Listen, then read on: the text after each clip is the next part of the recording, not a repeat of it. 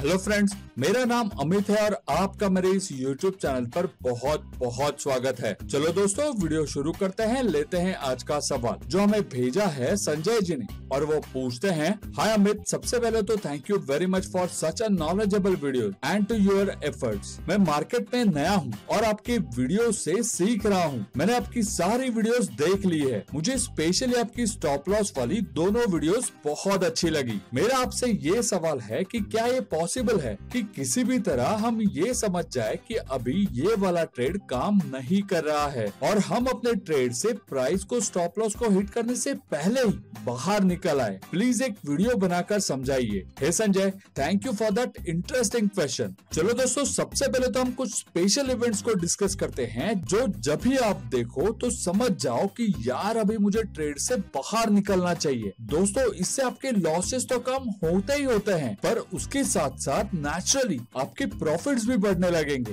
Back to back लगातार profit के लिए ये बहुत इंपॉर्टेंट है। इसके बाद हम कुछ अपने ट्रेड्स की एनालिसिस को भी देखेंगे। दोस्तों, इस वीडियो को एंड तक देखते रहना, क्योंकि ये बहुत ही इंटरेस्टिंग होने वाली है। देखो दोस्तों, अगर आप टेक्निकल एनालिसिस की मदद से ट्रेडिंग कर रहे हो तो आई एम श्योर ये बात तो आप जानते ही होंगे कि ट्रेडिंग करने की अपनी स्ट्रेटेजी भले ही कुछ भी हो, पर अपना स्टॉप लॉस वहाँ पे होना चाहिए, जहाँ से हमें तुरंत पता चले कि हमारा ट्रेड अब गलत जा चुका है। दोस्तों स्टॉप लॉस प्लेसमेंट एक बहुत ही सेंसिबल एरिया होता है। इस लेवल के बाद हम ट्रेड से बाहर निकल आते हैं। पर इस लेवल के पहले हम ये सोचते हैं कि यार प्राइस तो अभी मेरे स्टॉप लॉस के नज़दीक भी नहीं है। प्राइस को अभी भी ऊपर जाने का पूरा चांस है। चलो, मान लेते हैं कि हमने कोई क्रॉस ओवर या तो कैंडल स्टिक पैटर्न से एक ट्रेड ले लिया है। तो यहाँ हमें अंदाज़ा बिल्कुल हो जाता है कि कौन से लेवल तक ही अपना ट्रेड वैलिड है। हमें पता है कि इसके नीचे अगर प्राइस गई तो हमारा ट्रेड वैलिड नहीं है।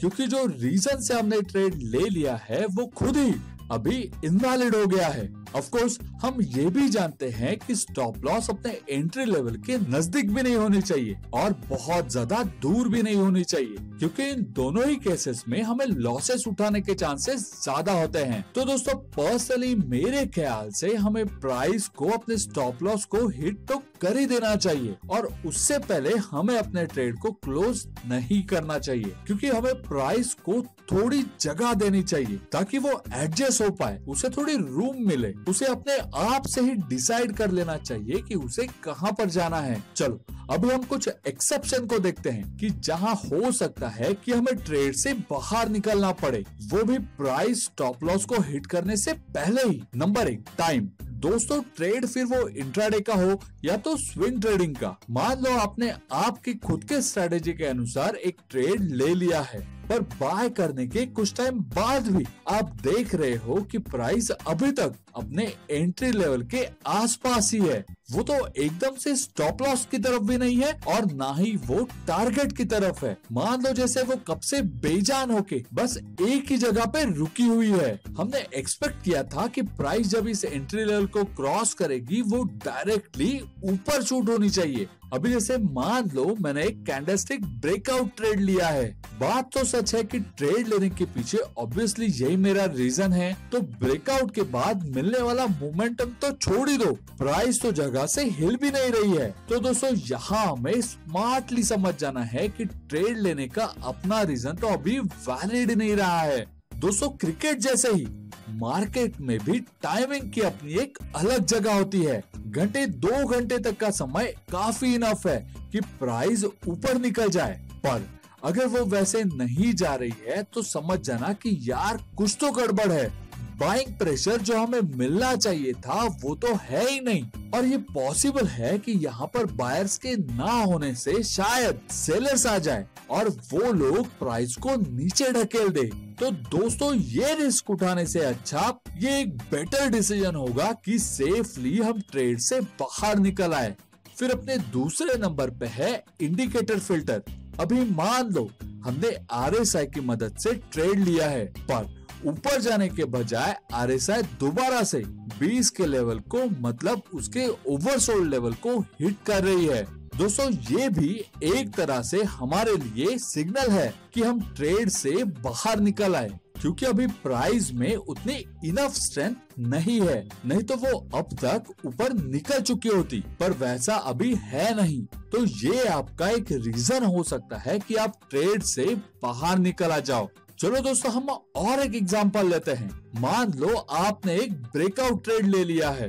आपको लगा है कि प्राइस ने रेजिस्टेंस को तोड़ना एक अच्छा इंडिकेशन है और ये आपका बेसिक रीजन है कि आपने वो ट्रेड ले लिया है। पर एक दो घंटे के बाद प्राइस अगर ऊपर नहीं जा रही है, बल्कि वो वापस रेजिस्टेंस को हिट कर रही है तो ये भी हमारे लिए एक सिग्नल होगा जो हमें इंडिकेट कर रहा है कि भाई बेटर होगा अगर हम ट्रेड से बाहर निकल आए।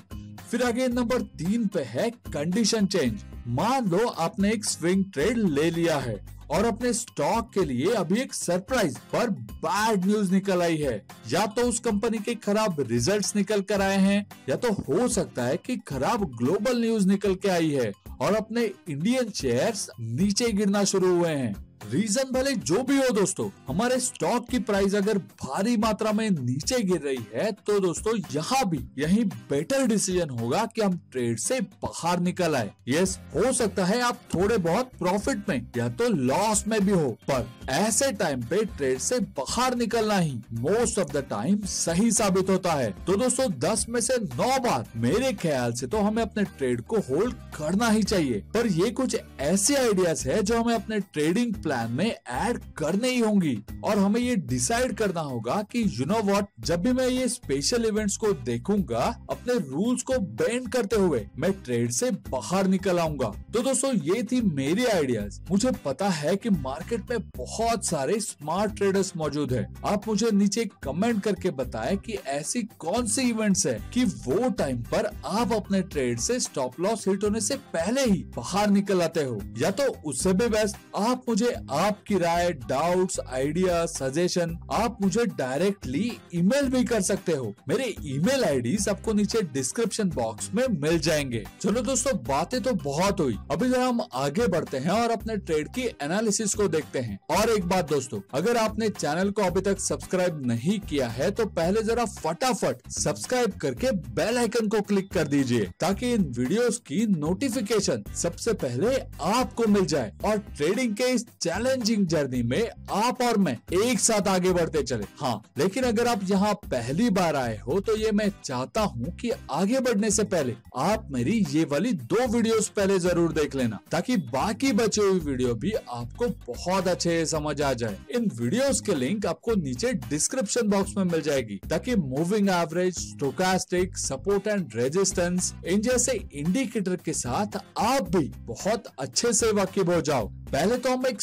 स्विंग ट्रेडिंग का ट्रेड देखेंगे और फिर उसके बाद इंट्राडे का ओके ये जो चार्ट आप देख रहे हो, वो है अपोलो हॉस्पिटल का आर्ली चार्ट देखो प्राइस ने यहाँ से उसके 100 वाले सिंपल मूविंग एवरेज के ऊपर डिसाइसिवली जंप किया है। फिर प्राइस तीन चार दिनों तक उसके ऊपर ही ट्रेड कर रही है। इस दौरान प्राइस को हम सिर्फ़ देखेंगे। हमें ये बिल्कुल पता है कि अभी प्राइस अप ट्रेंड में है, पर हमें यहाँ कहीं भी बाय करने की कोई जल्दबाजी नहीं करनी है, बल्कि हमें प्राइस में पुल बैक का वेट करना है। दोस्तों पुल बैक का सीधा मतलब होता है प्राइस में एक हल्की सी गिरावट। दोस्तों, हम स्विंग ट्रेडिंग कर रहे हैं तो हमें ये बहुत अच्छे से समझना होगा कि ये पूरा पेशेंस का गेम है। ये चार्ट पे सही स्पॉट सिलेक्ट करने का गेम है। पुल बैक में हमारा इंतज़ार तभी खत्म हो जाएगा जब अपना दूसरा इंडिकेटर जो है स्टोकास्टिक वो उसके ओवरसोल्ड रीजन में मतलब उसके 20 के लेवल पर, या तो उसके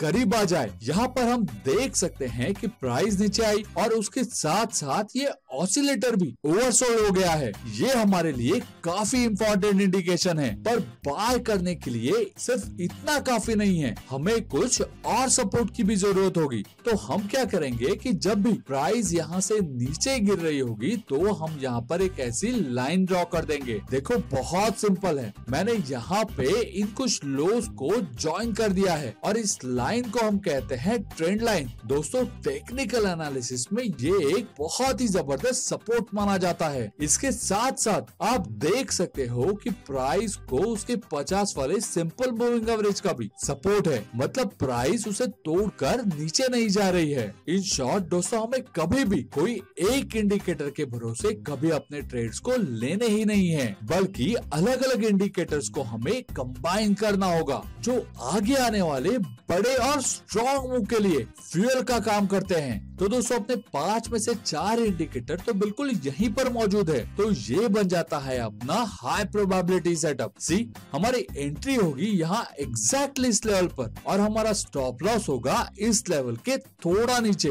यहाँ मेरी रिस्क है ऑलमोस्ट तीस रुपया पर शेयर अगर आपने मेरी रिस्क तो रिवॉर्ड वाली वीडियो भी देख ली है तो आप ये अच्छे से जानते होंगे कि हमें इतने पेशेंस के बाद हम ये वाली मूव को उसके एंड तक कैसे चेस कर पाते हैं। देखो, बस कुछ कैंडल्स में ही मेरे टारगेट भी हिट हो गए हैं। तीस रूपए के बदले में साठ रूपए का मुनाफा, वो भी सिर्फ़ दो ही दिन में। अमेजिंग राइट चलो, अब हम अपने दूसरे इंट्राडे ट्रेड की तरफ़ बढ़ते हैं। ये जो चार्ट आप देख रहे हो, वो है एक मेटल सेक्टर से, और ये आप उसका आर्ली चार्ट देख रहे हो। दोस्तों, अगर आप मुझे इस चैनल पर फॉलो कर रहे हो तो फिर देखते ही आप भी ये बता सकते हो कि ये स्टॉक इस टाइम फ्रेम में काफ़ी बैरिश है। कैसे? देखो, कैसे प्राइस कई दिनों से उसके हंड्रेड वाले सिंपल मूविंग एवरेज के नीचे ही ट्रेड कर रही है। तो हमें ये बिल्कुल पता है कि अब डाउन ट्रेंड चल रहा है, पर हमें यहाँ भी शॉर्ट करने की कोई भी जल्दबाजी नहीं करनी है। हमें एक रैली का वेट करना है। अप ट्रेंड में जैसे पुल बैक होता है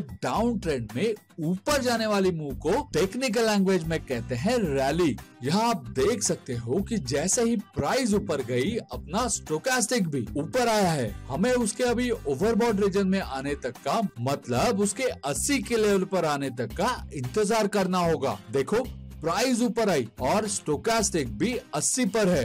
फिर अगर हम इन कुछ हाइज को ज्वाइन कर देंगे तो इस प्रकार से हमें ट्रेंड लाइन भी ड्रॉ कर सकते हैं, जो डाउन ट्रेंड में प्राइस के ऊपर के साइड होगी। फिर प्राइस को उसके 50 वाले मूविंग एवरेज का भी रेजिस्टेंस है। ऑल इन ऑल ये स्टॉक कल के इंट्राडे के लिए हमारे लिए काफ़ी इंटरेस्टिंग होगा। क्योंकि हम ये बात पहले से ही जानते हैं कि कल इसके नीचे जाने के चांसेस काफ़ी ज़्यादा हैं। चलो, अब जरा हम इसके दूसरे दिन के पाँच मिनट के चार्ट को देखते हैं। देखो कुछ यहाँ पे मार्केट ओपन हुआ है। एज यूजल हम कुछ टाइम तक सिर्फ़ वेट करेंगे। इस दौरान हमने अपने रेंज हाई और रेंज लो को नोट डाउन कर दिया है। फिर जैसे ही प्राइस रेंज लो को नीचे के साइड ब्रेक कर देगी एग्जैक्टली वहीं पे हमारी एंट्री होगी।